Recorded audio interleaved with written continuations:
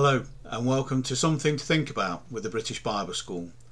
My name's Mark Hill, I'm a graduate of the school and it's my privilege to be working with the congregation that meets in Northampton uh, in England. And there is much for us to think about, isn't there? So many things that are going on, not only around the world but on our own doorstep. Currently, there is a leadership race. A leadership race. This is uh, something that's happening politically at the time, and a new leader is needed for one of the political parties, who which will automatically then make them the prime minister of this country. What about leaders? What do you think about them? Not politically, but generally speaking. Why is there a race to leadership? Because people think they know better than everybody else, and they want to be the ones that put their policies in place to save all of us. Unfortunately, all too often, all we think is that these people, and I'm sure there's many of them that are sincere, but we feel there's many of them that are just in it for what they can get. It's never been any different. And one of the things that this has caused me to, to think back to is the book of Judges in the Old Testament, where people didn't raise up their own leader, Oh no, that happened later and it's when it went wrong. But when the people needed it, God would raise up a leader for them. See, without the book of Judges, we would have very little knowledge of what transpired between the time of Joshua and the time of Samuel. As a result of its being in the Bible, we have this continuation of the story of God's people the history of them as they settled into the promised land, having been rescued and brought out from Egypt where they were slaves. They're now coming to a land where they'd live in houses they didn't build and benefit from fields and harvests where they'd not planted. The need for a king eventually became important to them, but until then, God was supposed to be their king. You see, the events in the book of Joshua, Joshua, Judges, underlines the truth that rebellion against God brings punishment, but repentance brings restoration. This is an integral part of the Word of God. If you sin, if you do wrong, there is punishment. But you can be forgiven. You can turn from it and have a restored relationship with God. Judges itself is an account of some of the greatest heroes of the Bible and God's dealings through them with his people. Some of these people, of course, don't appear as great or as good as we might expect them to, but they were guided by God's laws nevertheless, and they were encouraged by his promises. Now, although there are those who would be drawn away into idolatry time after time, the tabernacle service, according to law of Moses, was still kept in existence, and there were those who kept to it. The judgment passed on the crimes which were um, recorded is in keeping with the action of a people who were motivated by a holy calling. At that time, it wasn't a case of just do as you please. But what does God want? We know that that changed eventually. Now, some of the men that were chosen wielded great influence on their contemporaries. For example, in the case of Ehud, it said, after his victory, the land enjoyed rest for 80 years. Imagine peace throughout the land for 80 years. Also, Barak, after his victory, it said in the same way that the land had rest for 40 years. Now, it's not certain that these men lived that long, much less that they governed for that long. But they and others were raised up by the Spirit of God to give a particular service when there was an occasion needed. As a result, the influence of their leadership was felt for this specified length of time. During their careers, these leaders purged Israel of their idolatries. They avenged Israel of her enemies. They championed the cause of righteousness. So during the government of the judges, God was in a particular way Israel's king. Now in Judges chapter 2 verses 6 to 19 it explains why the Lord raised up these judges. After the death of Joshua the people remained faithful to God for only as long as that generation that knew Joshua was still alive. Those people who had seen all the great things that God had done through Joshua in going into this land. But we're told in verse 7 of chapter 2 there arose another generation that did not know the Lord, nor the works he had done for Israel. And then, sadly, in verse 10 of the same chapter, we read that the people forsook Yahweh and served the Baalim. These, of course, are the idols of the country that they'd now settled in, especially of uh, Baal and Ashtaroth. Now, the result of the people's idolatry was that in anger, God, they God gave them over to their oppressors. Those in Canaan were organised socially and politically and culturally. They weren't a pushover for anyone who wanted to take over their land. That Israel could overtake a people like this at all in the first place proved God was with them.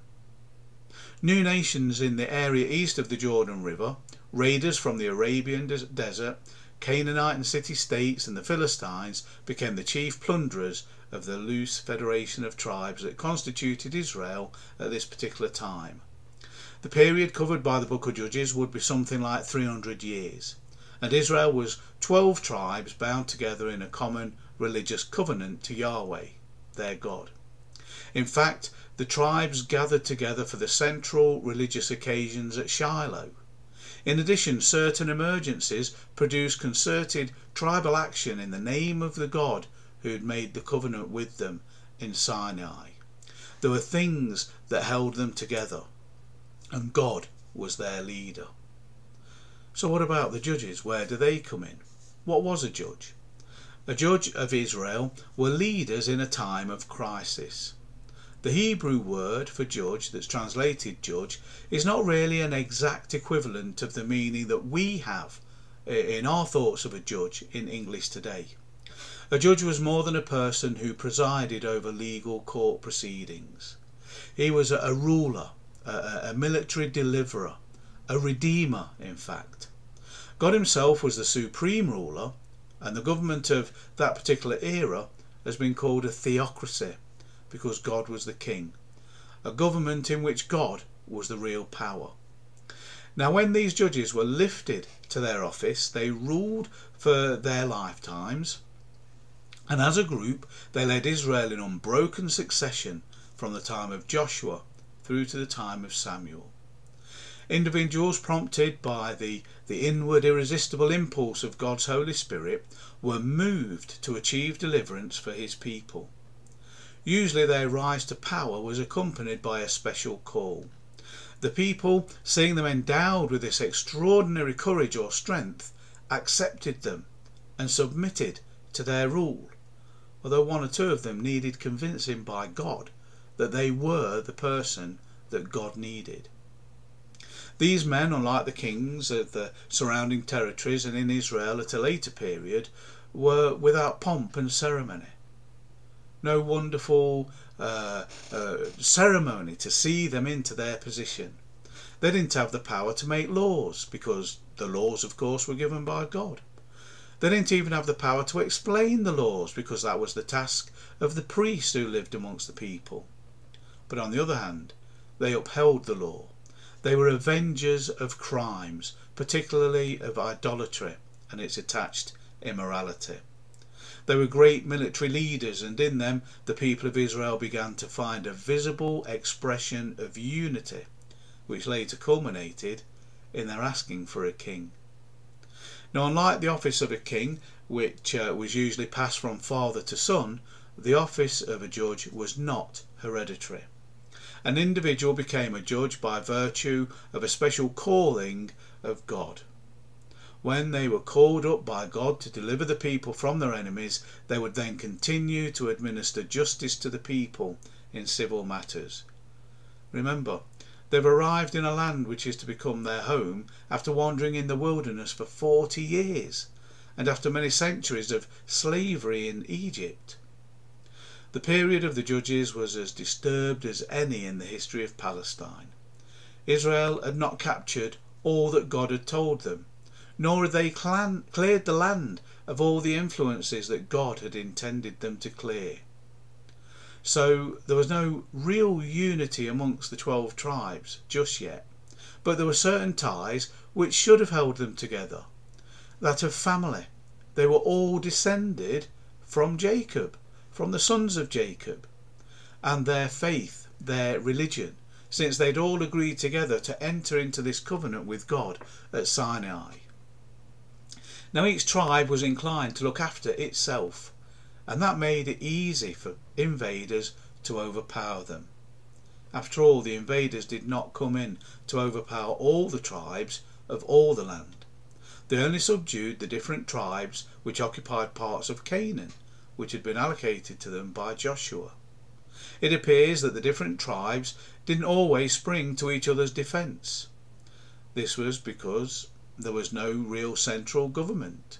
There was no recognised leadership to pull the people together. When Joshua died, there were no others with his, uh, his strength of character and his courage to take over. So each did what was right in their own eyes. And the fact that there was no king is stressed repeatedly through the book. Now, the repeated sequence or cycles that can be identified in the book of Judges are that there's sin, because of sin, there is punishment. With punishment came repentance, and with repentance came salvation. So God, uh, God's people did what was evil by serving their false gods. Yahweh then sends an oppressor to teach Israel a lesson.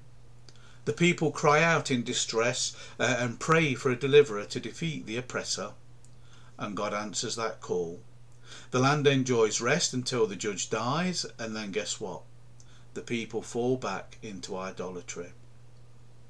The twelve tribes didn't keep the covenant with God, disobeying orders which involved the breaking down of pagan altars of those remaining inhabitants of the land, so that they wouldn't be used, so there wouldn't be a temptation to go back to it.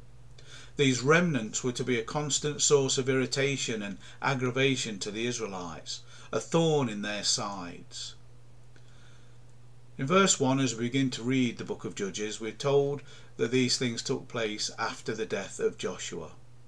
The events that happen from chapter 1, verse 1 through to verse 9 of chapter 2 all happened during the lifetime of Joshua, and we're told that he asked the Lord.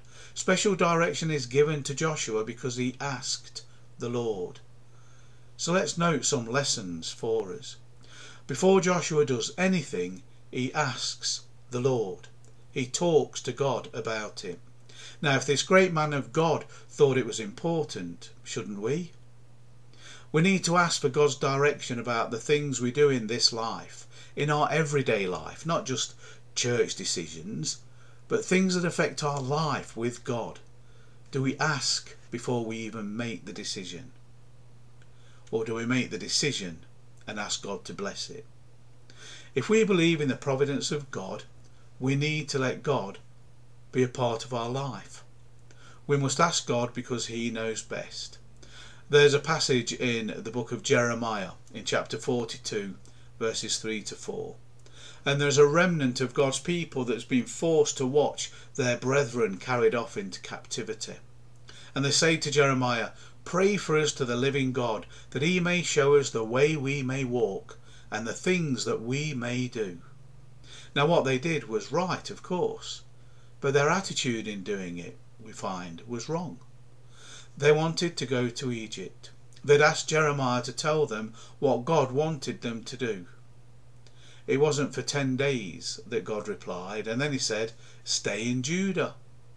What did they do? They ignored what he said and went to Egypt anyway. James says, Do not be double minded. Don't ask if you don't intend to listen to the answer. In fact, only ask God if you're going to obey. Now, how do we ask? We pray. We verbalise these things to God. And we search the Word of God, the Bible. We search it to find advice and wisdom concerning that thing that we might want to do. We should seek the wisdom of fellow believers. Don't just do what's right in your own sight. Talk to others about this as well. People that you trust, that you know have studied God's word, that are people of prayer, then they might also pray for you. In Judges chapter 1 and verse 2, the reply comes back that Judah shall go up. Judah is prepared to obey the answer that God has given in this particular instance. Having gained confidence in God's reply, Judah asked Simeon to come with him and help. He wasn't doubting God, but he recognized something. Sometimes it's good to do things with other people. There is confidence in having company, the right company. You increase friendships by doing things together. You get to know others better by working in harmony together. You can even increase in patience as you work with someone else and you have to get used to them and the way they go about things. You learn to be able to understand each other, both your strengths and your weaknesses. We do have an individual faith, but we really do need each other as believers. The scriptures say, As iron sharpens iron, so does a man's countenance his friend. Jesus in the New Testament sent out 70 disciples two by two to go and teach others. The Holy Spirit sent Barnabas and Saul. And even when they separated, they went with other people. One may have wisdom, the other might know how to apply it. So that's a formidable force. One person might have courage, the other might have caution and between the two of you you find the right path. One might have great wealth and can fund things, but the other might have the wisdom to know how to best use that wealth. No one has all of the qualities needed to make things work. We need to work together, share our abilities and responsibilities. We ought not to lord it over each other, but value the contribution each can make to the cause ahead even when God wants us to have elders, overseers, shepherds of a congregation, he wants there to be a plurality, not just a leader calling the shots. Another lesson is that these are, are, are leaders, and there are some who were followers.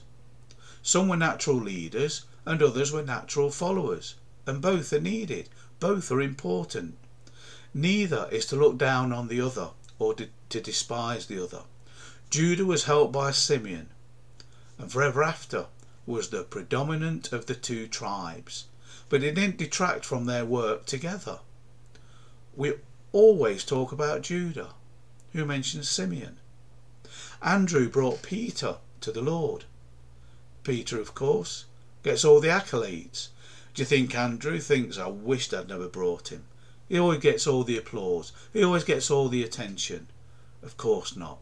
He was too great a servant for those kinds of thoughts. We need to work together in the great task that God has set before us. And no matter who receives the praise, we need to make sure that God gets the glory for what we manage to achieve. You see, some are sowers, some are reapers. We shouldn't be looking for the glory of either of those things, but in working together for the good of the kingdom of God. The end result is that God, God's work will be achieved. God will be glorified because of the unity and the harmony seen in his people. Personal pride and glory are set aside as God's people are seen working together for the good of all and not just wanting what's good in their own sight.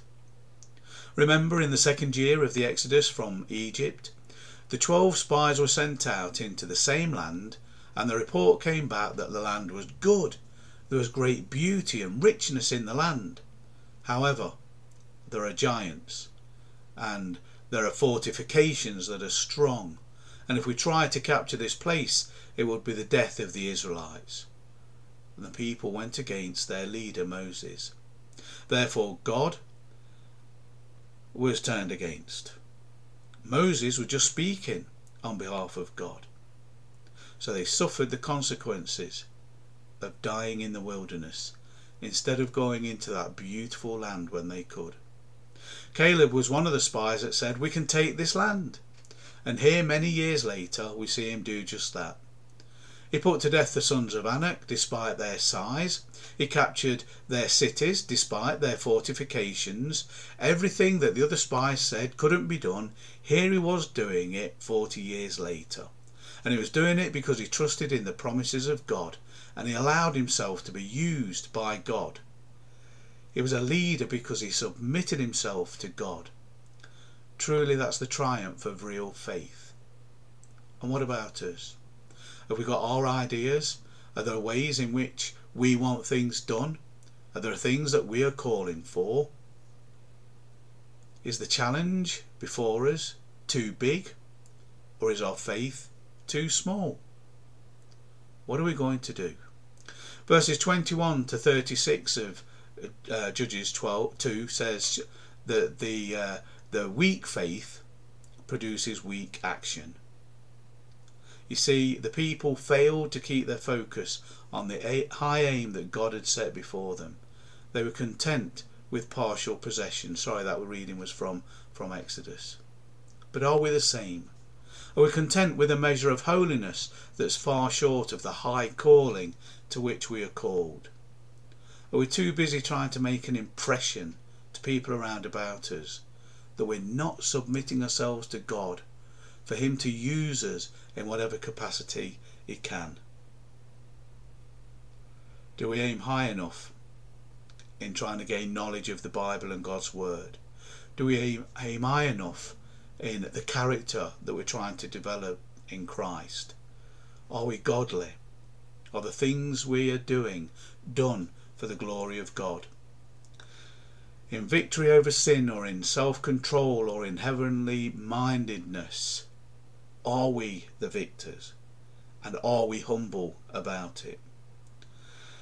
The spies thought that the iron chariots were invincible, so they shrunk away from the valleys and slunk away into the vastness of the hills. And that's the same for those of us with little faith. The challenges of the world are too much for us to bear, and we lose heart and we slink away from the battle with our tail between our legs. When anybody asks, we say, well, it's their fault. They made me do it. The country's in the state it's in because of them and because of that leader and because of this problem and that problem. But the country can be in a greater state if we're the kind of leaders that God calls us to be. If we have the courage to lead where godliness is concerned.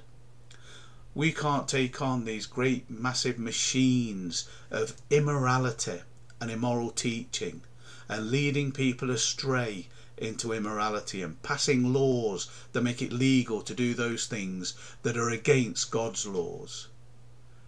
But one by one, by our character, by our building in our knowledge of the Bible, by our sincerely asking for God's help, we can help lead another person to Christ. Let's not try and just do things as we see fit in our own eyes, but in the eyes of God, what is He calling us to? Let's not underestimate the power and the grace of God. He has said, My strength is sufficient for you. But are we willing to lean on Him? And most of all, will we trust each other to work together to conquer our land for Christ? Yes, at this moment in time, it doesn't don't know when you might be seeing this, but at the time of me speaking this, there's a leadership race. Well, make God your leader. Let Him lead us through these difficulties in life, and may He lead us to other souls that need saving. Let's have the strength and the courage to do it personally and join forces with others, that God's name might be glorified. Thank you very much for listening.